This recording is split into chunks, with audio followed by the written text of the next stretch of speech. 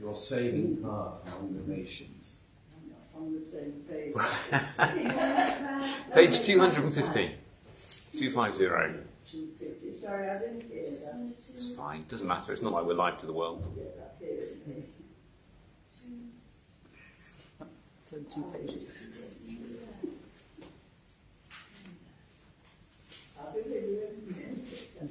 Sorry about that. There I am now. There we go. O Lord, open our lips. And our mouth shall proclaim your praise. Let your ways be known upon earth. Your Your saving power among the nations. Blessed are you, Lord God of our salvation. To you be praise and glory forever. As a man of sorrows and acquainted with grief, your only Son was lifted up that he might draw the whole world to himself. May we walk this day in the way of the cross and always be ready to share its weight, declaring your love for all the world. Blessed be God, Father, Son, and Holy Spirit. Blessed be God forever. The night has passed, and the day lies open before us. So let us pray with one heart and mind.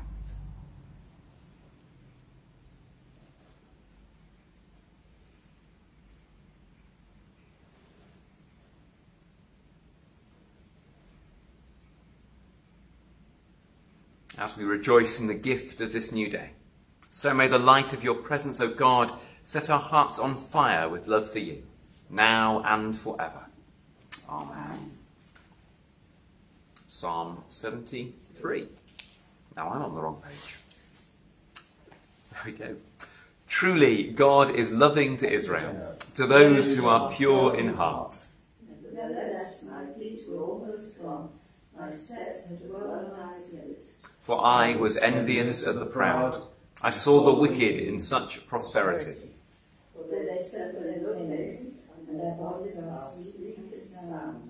They come to no misfortune like other folk, nor are they plagued as others are.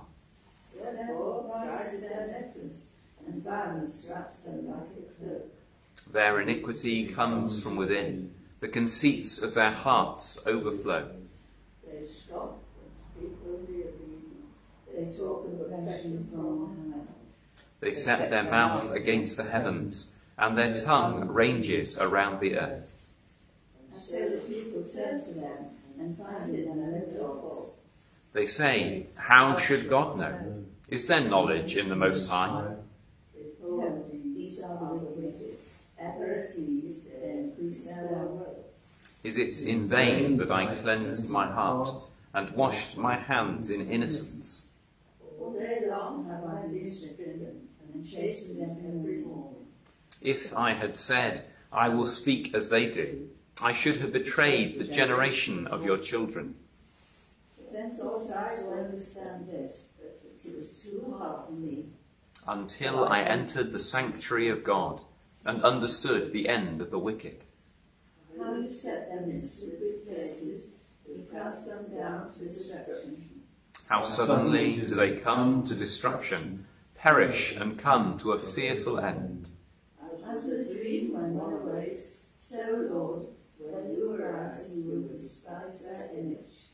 When my heart became embittered and I was pierced to the quick, I was both foolish and ignorant. I was like a brute beast in your presence. yet I am always with you. You hold me by my right hand. You will guard me with your counsel, and afterwards receive me with glory. Whom have I in heaven but you? And there is nothing upon earth that I desire in comparison with you. Though my flesh and my heart fail you, God is the strength of my heart and my portion forever. Truly, those who forsake you will perish. You will put to silence the faithless who betray you. But it is good for me to draw near to God. In the Lord God have I made my refuge, as I tell all your works. Glory to the Father, and to the Son, and to the Holy Spirit, as it was in the beginning, is now, and shall be forever. Amen. Our Old Testament reading is taken from Exodus chapter 8, verses 1 to 19. Then the Lord said to Moses, Go to Pharaoh and say to him, Thus says the Lord, Let my people go, so that they may worship me. If you refuse to let them go, I will plague your whole country with frogs. The river shall swarm with frogs. They shall come up into your palace, into your bedchamber and your bed, into houses of your officials and your people, into your ovens, your kneading bowls. The frogs shall come on you and your people, on all your officials. And the Lord said to Moses, Say to Aaron, Stretch out your hands with your staff over the rivers, the canals, the pools, and make the frogs come up on the land of Egypt. So Aaron stretched out his hand over the waters of Egypt, and the frogs came up and covered the land of Egypt. But the magicians did the same by their secret acts and brought frogs upon the land of Egypt. Then Pharaoh called Moses and Aaron and said, Pray to the Lord to take away the frogs from me and my people, and I will let the people go to sacrifice to the Lord. Moses said to Pharaoh, Kindly tell me when I am to pray for you and your officials and for your people, that the frogs may be removed from you and your houses be left only in the Nile. And he said, Tomorrow, Moses said, As you say, so that you may know that there is no one like the Lord our God. The frogs shall leave you, and your houses, and your officials, and your people. They shall be left only in the Nile. Then Moses and Aaron went out from Pharaoh, and Moses cried out to the Lord concerning the frogs that he had brought upon Pharaoh. And the Lord did as Moses requested. The frogs died in the houses, the courtyards, and the fields, and they gathered them up together in heaps, and the land stank. But when Pharaoh saw that there was a respite, he hardened his heart and would not listen to them, just as the Lord had said. Then the Lord said to Moses, Say to Aaron, Stretch out your staff and strike the dust of the earth, so that it may become gnats throughout the whole land of Egypt. And they did so. Aaron stretched out his hand and his staff and struck the dust of the earth, and the gnats came on humans and animals alike. All the dust of the earth turned into gnats throughout the whole land of Egypt. The magicians tried to produce gnats, but their secret acts, but they could not. There were gnats on both humans and animals.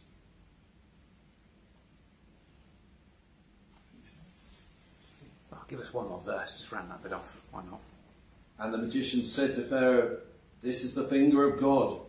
But Pharaoh's heart was hardened, and he would not listen to them, just as the Lord had said.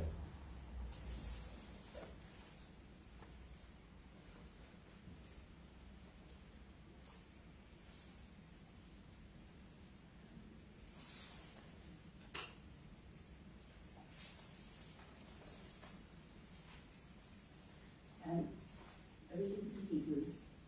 By faith, Abraham, when test, offered up Isaac. He who had received the promises was ready to offer up his only son, of whom he had been told, It is through Isaac that descendants shall be named after you. He considered the fact that God is able even to raise someone from the dead, and figuratively speaking, he did receive him back. By faith, Isaac invoked blessings for the future on Jacob and Esau. By faith, Jacob, when dying, blessed each of the sons of Joseph, bowing worship over the top of his staff. By faith, Joseph, at the end of his life, made mention of the exodus of the Israelites and gave instructions about his burial. By faith, Moses was hidden by his parents for three months after his birth, because they saw that the child was beautiful, and they were not afraid of the king's edict. By faith, Moses, when he was grown up, refused to be called a son of Pharaoh's daughter, choosing rather to share ill treatment with the people of God than to enjoy the fleeting pleasures of sin. He considered abuse suffered for the Christ to be greater wealth than the treasures of Egypt, for he was looking ahead to the reward. By faith he left Egypt, unafraid of the king's anger, for he persevered as though he saw him who is, is invisible. By faith he kept the Passover and the sprinkling of blood, so that the destroyer of the firstborn would not touch the firstborn of Israel.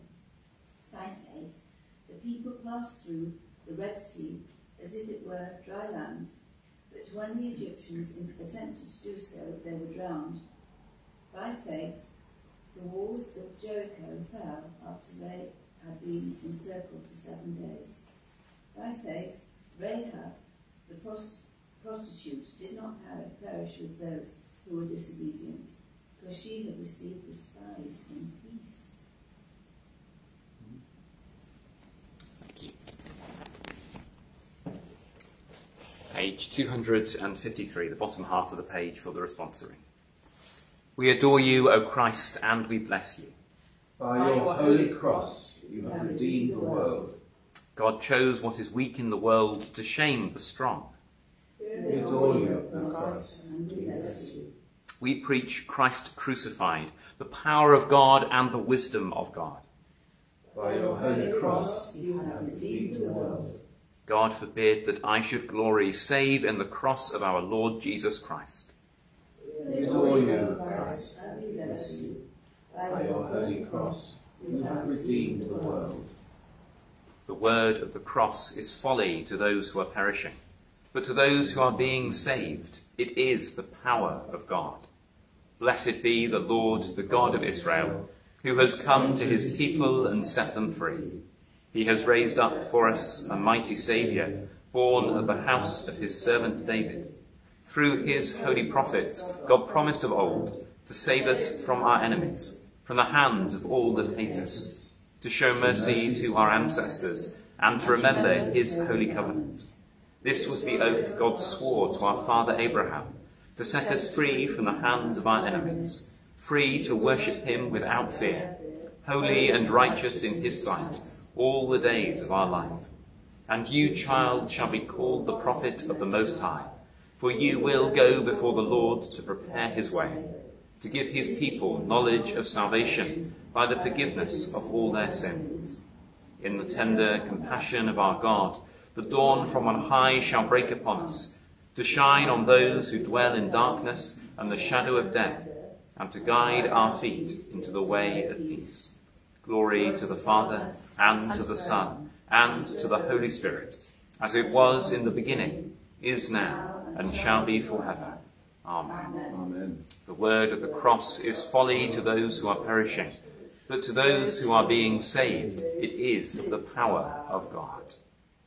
So we pray for this day, the world, and the church. I'll be using this structure on page 381 if you want to follow it. There's no need to, but that's where it can be found. With faith and love and in union with Christ, let us offer our prayer before the throne of grace.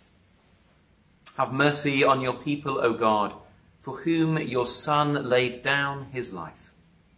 Father, we give you thanks that you showed us what love meant in coming to earth, in living amongst us, and in dying for us. And so we pray for all those who today join you in your sufferings, for those who put their lives at risk for the good and service of others. We pray for our emergency services, for the armed forces of the world, for passers by who happen to reach out their hands in aid.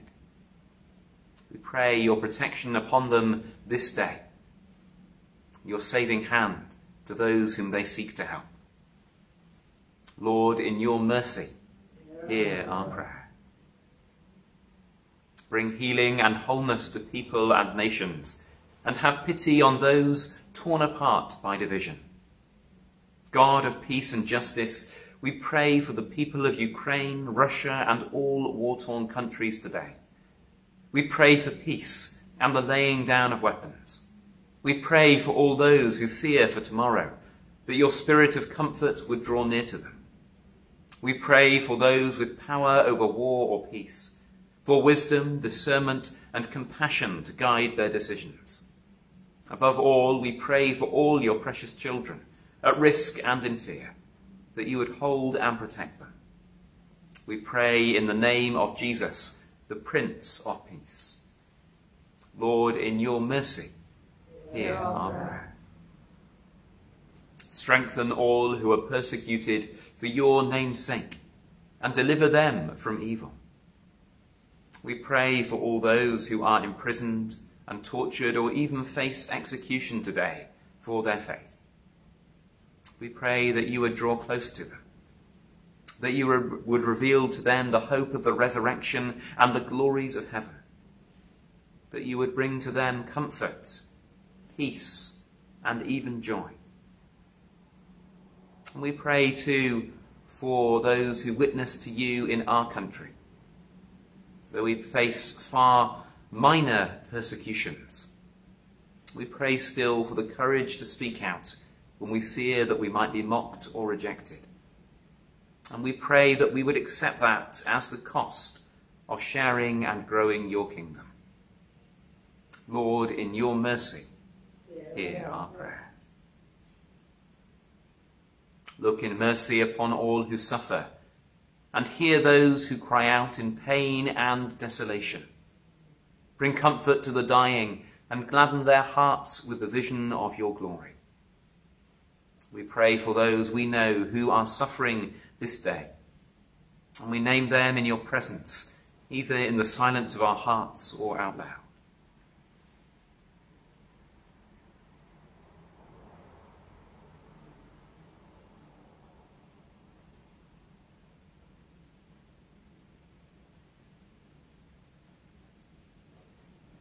Rest your holy hand upon them, we pray, O God. Surround them and minister to them by your angels. Pour your healing spirit into them, that they may be restored to the abundance of life that is your promise in Christ Jesus. Lord, in your mercy, hear our prayer. Give rest to the departed, and bring them with your saints to glory everlasting. Lord, in your mercy, hear our prayer. Most merciful God, who by the death and resurrection of your Son, Jesus Christ, delivered and saved the world, grant that by faith in him who suffered on the cross, we may triumph in the power of his victory. Through Jesus Christ our Lord. Amen. Amen. Standing at the foot of the cross, let us pray with confidence as our Saviour has taught us. Our Father, who art in heaven, hallowed be thy name. Thy kingdom come, thy will be done, on earth as it is in heaven. Give us this day our daily bread, and forgive us our trespasses, as we forgive those who trespass against us. And lead us not into temptation, but deliver us from evil. For thine is the kingdom, the power, and the glory for ever and ever. Amen. May Christ, who bore our sins on the cross, set us free to serve him with joy. Amen. Amen. Let us bless the Lord. Thanks, Thanks be to God. You're very welcome. Thank you all.